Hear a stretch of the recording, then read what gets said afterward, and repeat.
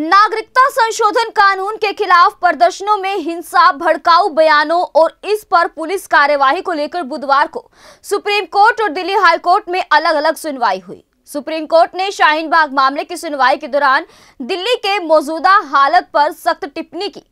शीर्ष अदालत ने कहा कि दिल्ली की हिंसा में लोगों की मौत से हैरान है। पुलिस ने पेशेवर तरीके से कार्यवाही नहीं की। हमें ब्रिटिश पुलिस से सीख लेनी चाहिए। ब्रिटेन और अमेरिका की पुलिस को कार्यवाही के लिए इधर उधर नहीं देखना पड़ता है। वहीं उत्तर पूर्वी दिल्ली में हिंसा और भड़काऊ बयान देने वाले नेताओं पर कार्यवाही के लिए दायर याचिका पर हाईकोर्ट ने पुलिस को फटकार लगाई है। पूछा, क्या हिंसा भड़काने वालों पर तुरंत एफआईआर दर्ज करना ज़रूरी नहीं है? हिंसा रोकने के लिए तुरंत कड़े कदम उठाने की ज़रूरत है। दिल्ली में एक और उन्नीस सौ चौरासी नहीं होनी चाहिए। जिन्हें सिक्योरिटी मिली है, वे भरोसा जगाने के लिए लोगों तक पहुँचे। शाहीन बाग से प्रदर्शनकारियों को दूसरी जगह शिफ्ट कर रास्ता खुलवाने के मामले में कोर्ट ने आज कोई अहम आदेश नहीं दिया है। सुप्रीम कोर्ट ने कहा कि मध्यस्थों की रिपोर्ट देखकर लगता है कि प्रदर्शनकारियों से बातचीत में कोई हल नहीं निकला। ऐसे माहौल में सुनवाई करना ठीक नहीं है। इस मामले में अगली सुनवाई 23 मार्च को होगी। सुप्रीम कोर्ट द्वारा नियुक्त मध्यस्थ वकील साधना रामचंद्रन और संजय हेगड़े ने चार दिन तक शाहीन बाग के प्रदर्शनकारियों से चर्चा कर सोमवार को सीलबंद लिफाफे में कोर्ट को रिपोर्ट सौंपी थी।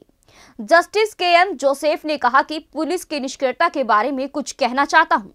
अगर मैं यह नहीं कहूँगा तो अपने कर्तव्य का निर्वहन नहीं कर पाऊँगा। इस देश के प्रति, संस्थान के प्रति मेरी निष्ठा है। पुलिस की तरफ़ से इस मामले में स्वतंत्रता और प्रोफेशनलिज्म की कमी रही है। तेरह लोगों की मौत ने मुझे परेशान कर दिया। तभी एक वकील ने उन्हें बताया कि हिंसा में अब तक 22 लोगों की मौत हो चुकी है। इसके बाद जस्टिस जोसेफ ने कहा कि पूरे मामले में दिल्ली पुलिस ने समय रहते कार्यवाही नहीं की। अगर पहले ही कार्यवाही की होती तो ऐसे हालात पैदा नहीं होते। आप देखिए ब्रिटेन की पुलिस कैसे कार्यवाही करती है।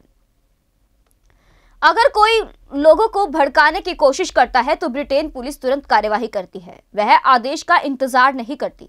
ऐसे हालातों में पुलिस को आदेश के लिए इधर उधर नहीं देखना चाहिए।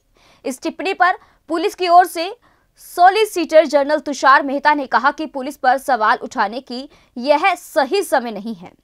इससे पुलिसकर्मियों में हताशा बढ़ेगी। उन्होंने कहा कि डीसीपी को भीड़ ने मारा है। वे अभी वेंटिलेटर पर है। हम जमीनी हालातों से वाकिफ नहीं है। पुलिस किन हालातों में काम करती है? उन्होंने बेच से उत्तर पूर्वी दिल्ली में हिंसक घटनाओं की मीडिया रिपोर्टिंग रोकने की मांग की है। उन्होंने कहा कि सुप्रीम कोर्ट के आदेश की जजों की टिप्पणी को मीडिया में हेडलाइन ना बनाया जाए। हाई कोर्ट के जस्टिस मुरलीधर ने दिल्ली पुलिस को फटकार लगाई और कोर्ट रूम में भाजपा नेता कपिल मिश्रा के भड़काऊ भाषण का वीडियो चलवाया। पुलिस ने पूछा, क्या यह ज़रूरी नहीं है कि हिंसा भड़काने वालों पर तुरंत एफआईआर दर्ज हो? अब हालात नियंत्रण से बाहर जा रहे हैं। भड़काऊ भाषणों के वीडियो वायरल हैं। सैकड़ों लोगों ने इन्हें देखा है। तब भी आप सोचते हैं कि एफआईआर दर्ज करना ज़रूरी नहीं है। पुलिस कमिश्नर सभी वीडियो क्लिप देखकर एफआईआर दर्ज कराए और गुरुवार तक कोर्ट को बताए। लोगों को भरोसा होना चाहिए कि वे सुरक्षित हैं। नौकरशाही के बजाय लोगों की मदद होनी चाहिए। घायलों को बचाने के मामले में पुलिस ने तुरंत एक्शन लेकर अच्छा काम किया है। जो जेट सिक्योरिटी के साथ चलते हैं और जो ऊँचे ओहदों पर बैठे हैं, उन्हें लोगों तक पहुँचना चाहिए ताकि कानून अपना काम कर रहा है। इसका भरोसा पैदा हो। अधिकारियों और अमन कमेटी को लोगों से बातचीत कर हालात सामान्य करने की कोशिश करना चाहिए। दिल्ली सरकार हिंसा के पीड़ितों को मुआवजा सुनिश्चित करे। इस पर पुलिस की ओर से सॉलिसिटर जनरल तुषार मेहता ने कहा कि वे कल इस बारे में बताएँगे कि मैंने अभी तक वीडियो नहीं देखी है। इस पर कोर्ट ने वहाँ मौजूद डीसीपी राजेश देव से पूछा कि क्या आपने वीडियो देखे हैं? इस पर डीसीपी ने जवाब दिया कि उन्होंने अनुराग ठाकुर और प्रवेश वर्मा के दो वीडियो देखे हैं, लेकिन कपिल मिश्रा का वीडियो नहीं देखा है। इस पर हाईकोर्ट ने कहा, यह बहुत चिंताजनक है।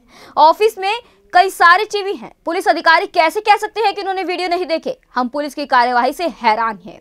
मेहता ने कहा कि पुलिस पिकनिक पर नहीं गई है वे एसिड अटैक झेल रहे हैं JBD Banquets लाए हैं incredible marriage palace Rajgharana and the finest banquet hall Jyoti Garden. World class catering, centrally air conditioned, lush green lawns, state of the art lighting. A perfect venue for wedding, launching and parties. Rajgharana and Jyoti Garden at JBD Banquets Enterprise. ऐसे ही latest खबरें पाने के लिए bell icon को click कर हमारे channel को like share and subscribe करें। धन्यवाद।